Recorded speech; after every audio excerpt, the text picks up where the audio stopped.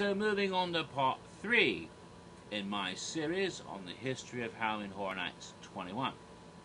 So I mentioned leaks, I mentioned the clues that were given out by the autumn wind. By the way, no one in the general public heard those with that name. Only the Seven and myself got that name, Autumn Wind.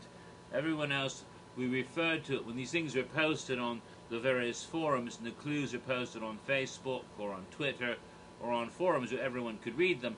We simply said, our mutual friend gave it to us. That's how we referred to Autumn Wind. We referred to her as our mutual friend. Or just OMF. yes. Uh, now, the commercial got leaked. I told you about that. Well, there was another major leak. But before I do that, uh, because that was near the end, uh, information began to be released uh, about the event officially, but not the way it always had been before. It didn't have a lovely website with slow updates that would give more and more information and all kinds of neat stuff to click on, like we did in years before. 2010 really was a bit bare bones, and I mean 2011 was even more so. You just had the generic thing, and you waited and waited and waited, and you never knew what was, you know, there was no updates on that. The updates, the little hints and clues and things, all came on Facebook, on the Halloween Horror Nights Facebook page for Orlando. It was all done by marketing, all done by marketing and publicity. Art and design had nothing to do with the, with that at all. And so they put up stuff like little, little weird cryptic clues, like the Japanese say that luck is death. You know, to hint that there was something to do with luck. Uh, there was uh, some sort of black and white pictures of somebody whose head had been killed or something, and a spinning wheel in the background. And eventually there were some playing cards showed up. You know, there was an ace of spades. And there was, more significantly, a queen of spades with uh, red hair and that sort of Veronica Lake thing going over her one eye. Yes, and uh, yeah, these are pretty cool. Um, these are not official. These are fan-made, but damn, they're good. Uh, I think it was Jeremy made them. Uh, they're made out of real card stock. They feel like real playing cards. They have the feel and look of real. He did a damn good job with these. I'm really impressed. Very impressed that he did that. Alright. Now, uh, does it look like something professionally done?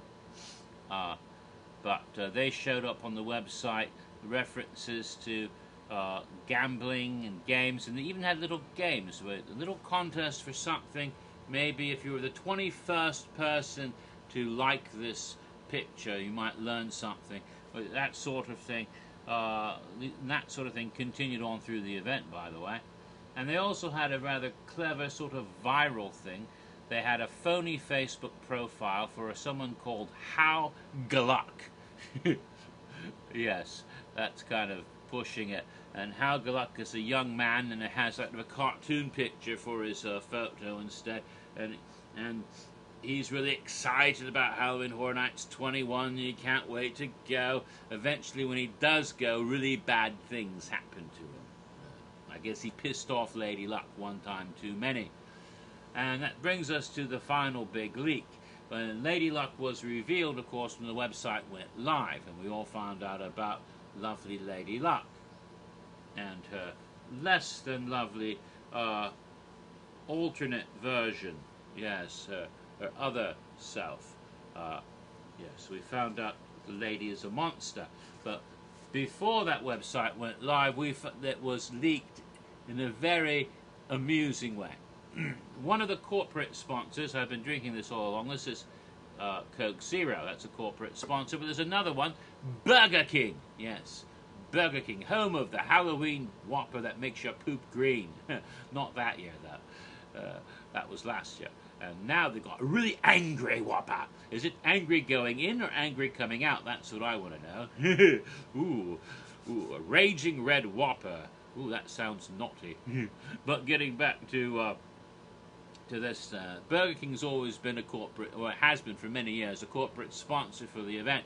And back then they got a lot of promotional material to put up in the Burger King shops and in the you know when you go to get your burgers and your chips and your and your fizzy drinks and whatever you're going to have for your for your fast food meal to make yourself obese. Uh, you, you're going to get pictures of Lady Luck and all about Horror Nights in your napkins and the brown paper bags and on your placemat on your tray and everything. Oh my goodness! And there's pictures on the, in, in the windows and everything else. So you, oh my goodness, you're going to learn about it that way. Well, they put all that stuff out before the website updated, so it all got leaked, and people started posting pictures of Lady Luck's face from a Burger King advert on, on the internet, and soon the whole Horror Nights community knew about Lady Luck and what she looked like and all of that before it was officially revealed on the website or Facebook or anywhere else. Well, the uh, the marketing people took it in stride. Uh, the Burger King leak, they said, ah, what the hell, and they decided to make a joke out of it. So all of a sudden, Hal Geluk, the little viral guy, little cartoon figure who's who's uh, you know, super fan or whatever he's supposed to be. He turns into a Burger King employee. Now he's wearing a Burger King uh, uniform, and apparently he's the sorry bastard who leaked Lady Luck early. And so that explains why, when he got to the event, he didn't get out alive. His luck ran out. so that was the end of Hal Geluk. Maybe.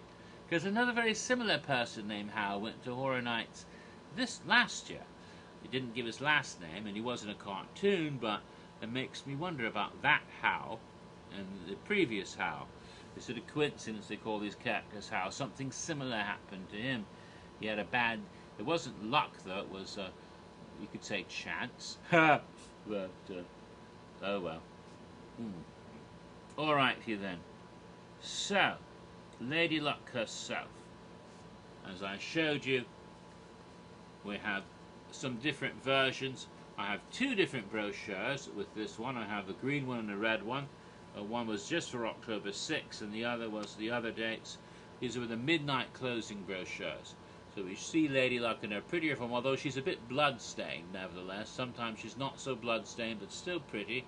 And we see her lovely, she's got a bright red hair. Sometimes she wears it so that part of it goes over one of her eyes, just like Veronica Lake that little flip. She's got bright green eyes. Her dress is green. She's got a green necklace, a green uh, emerald necklace and an emerald ring. She's got the spangled green dress, all slinky set up the side of legs can be showing, and the green uh, shoes, like uh, open-toed shoes, very pretty. In the background, if you look carefully, you can see the Wheel of Fortune. The Wheel of Fortune with playing cards on it, including the Ace of Spades on the number 21 black 21, the unlucky number. And so here we've got, that was of course because luck takes two forms. It's good luck, bad luck, you know, happy luck, sad luck. That's the way it is because the wheel of fortune turns. Sometimes you're at the top of the wheel and everything is rosy. Sometimes you're at the bottom of the wheel and uh, you're shit out of luck, basically. And so she had a secondary form that was bad luck, a crone, a hag, monstrous image. See here the, the more horrific face and uh, more scraggly hair, claw-like fingers, more vicious. And sometimes it became even more horrific, and we have the extreme close-up on another brochure. Yes, the extreme close-up in this brochure. So that one, the, the one with the, uh, those represent the 1 a.m. and 2 a.m. closing times. So the lady is a monster, is what they're trying to say. Be careful of luck, because it isn't always good. And there was no real backstory for Lady Luck. just came up with this concept. And like fear before her, an abstract concept personified, but also no haunted house for her. Sorry, Luck. You just got a scare zone. But she did have a nice scare zone, so they continue that from the previous New Age of Darkness icons, of which there have only been two. Lady Luck was the last original icon. They've not created a new icon for the event ever since. They've just brought back old ones, and only just last year they brought back the old ones, including Lady Luck, but not Fear. because he's a Pokemon. yeah, got him back in the container. I choose you. Hmm. So if Ash, as is rumored, uh, Ash in the Evil Dead, will he take fear out of the lantern and say, I choose you, pick a fear? No, no that would be silly. Uh, but uh, someone else made that joke, I just followed up on it. Okay, so uh, let's see. Uh, Lady Luck, of course, had her, her raven. You didn't really see it in the park, but she was on the t-shirt. Also, the raven was uh, in the commercial, although it was a black and white crow in the commercial. Uh, also had her spinning wheel, her wheel of fortune, of course, and uh, and her theme song. Yes, you know it's the old theme song from Guys and Dolls, famously interpreted by Frank Sinatra. Luck be a lady tonight. Mm, yeah, that that's great song. Lovely song, ship tune. Um, so she had a theme song. It's kind of weird. It seems to me that when you have the icons, uh, if you leave out Bloody Mary, because she doesn't, does she count? Let me think. You have Jack, caretaker, director, storyteller, Bloody Mary, usher, Lady Luck. You leave fear out of it. Here's the thing: the odd number ones have show, have have theme songs, the even ones don't. Don't believe me? Listen, Jack. Okay, Jack's got pop goes the weasel, right? Da da da da da da da da da da da da da. You know, he's got that one. Caretaker, no theme song. Oh dear. Director, you want to be in pictures. Ah, storyteller, no theme song. All right. Then you've got uh, Bloody Mary. No, that's not right. I guess you skip Bloody Mary too. So you go to Usher. Usher has Let's all go to the lobby. Let's all go to the lobby. So, no theme song. I guess Bloody Mary's the one you drop. You leave Fear in, uh, and then you go to number seven, which is Lady Luck, and that would be Luck be a lady tonight. So, see, we've got those with theme songs and those who don't have them but she's one who had a theme song. Wonderful. Uh, backstory for Lady Luck. Not much of a backstory. Not much of a backstory at all. Uh, the other the other icons, most of them had an alias, you know, a human name, like you know, Jack Schmidt or Albert Kane. Uh, even Fear was a Daru, but uh, but Luck had only the name of Luck itself. The only possible other name she might have is Fortuna, which is a Roman goddess of luck and good fortune, and also bad fortune. She had a spinning wheel as her symbol, and sometimes she was seen wearing a green dress, so that might be exactly who she is. and the idea is that throughout all time and space, luck has guided the destiny of mankind for both good and evil, but usually evil because you see, as good as your luck might get, everybody's luck runs out in the end. Nobody has a happy ending because, except for those of us who are immortal, everybody else dies. Eventually, your luck ends. So, bad luck is in the books for all of us, ultimately. The fates, there's the happy one that spins, the one that pulls the thread out, but then there's always that girl with the scissors to cut the thread, and it's all over again. That's the, the Greek idea of three fates. So she kind of has all of them in one, because she is good luck, bad luck at the same time. All right, and no real backstory, but A and D did take uh, and decided to do something with it, and they came up with her appearing in various forms throughout history in in 15th century Spain, in the 20th and the 1970s in Ohio, appearing in all these different places that all the houses took place, so that they could tie all the houses together with Lady Luck. That somehow every one of the houses, a person made a choice to take a risk or a gamble uh, based on fate, based on luck, and luck twisted the cards and bad fortune emerged, uh, giving away that this all tied together. And this was all found in the back room because when the when the when the website did go live, there was an area of the website called the back room. You know, like you go in a speakeasy and you might have a place in the back room where there's drinking and gambling, which might technically be illegal in your community during Prohibition. Or even nowadays, you might be in a dry county and gambling is often illegal. So if you want to have a, you know a, a illegal poker game, you have to go in the back room.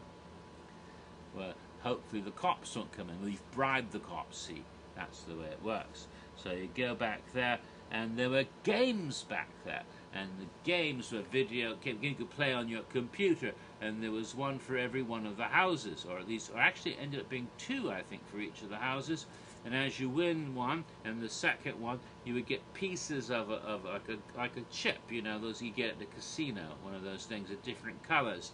And when you got them, uh, there ended up being eight chips, and as you got each one, a little bit of a house of cards was being built.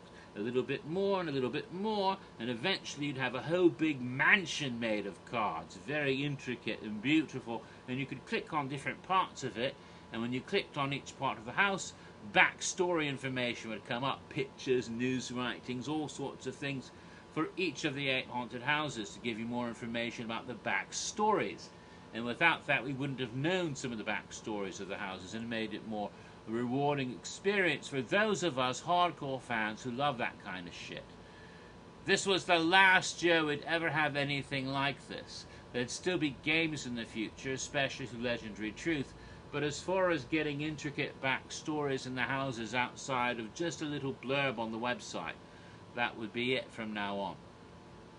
So, intricate backstory, we'd only find out more stuff if someone told us or revealed it to us, maybe during a Legendary Truth game, or maybe if we happen to run into one of these creators and they fill this in, or this actually is supposed to be this and this, and we learn more about it that way. But for the most part, this was the last year of the really cool backstory information to add to the whole mythology, like they did, used to do all the time, which is sad. Hmm. All right. So, that was a lot of fun. So let's get on with it then. I've done that, so all of that was revealed with the website. So let's go to the event itself and to the houses. I said there were eight haunted houses, and I did say they were good. I thought collectively some of the strongest houses they had had in years, and even owed quite a bit to houses in successive years, especially with the overabundance of intellectual properties they've had. It was certainly better than 2012, I'll tell you that much, uh, and, and 2010. Uh, mm, mm. Now, there were eight haunted houses, and they were all in the very same locations that they'd been the two previous years. That is to say, a house, two houses in Soundstage 23, one house in Soundstage 22, a house in Disaster Overflow queue area, a house in the Jaws extended queue area, a house in the uh, Building 79, the Parade Building, and a house each in the World Expo warehouses, that is Sprung Tent 1 and 2. And as I said before, all the houses were originals. There was only, except for one. We only had one intellectual property house. Because IPs returned that year, but only one. But since that year, we've never had majority original with just one IP. That has never happened again. All the successive years since 2011, majority have been IPs with only a couple of original houses, unfortunately. So the first one we're going to talk about is the Intellectual Property House. This was the first house located, one of two houses located in Soundstage 23 that year, and it was called The Thing. It was based on the motion picture The Thing that had come out, actually hadn't come out yet. On September 23rd, the film hadn't come out yet. Uh, I believe it opened the following weekend, or the weekend after that. I can go back and check uh, but I do know that I went and saw the movie in the cinema on my way to Horror Nights, either the first night I went or the week after that. I know that oh, I missed opening weekend. It was the first show I'd missed opening weekend in some time, and that's because on opening weekend I was in New York City on September 23rd, 2011.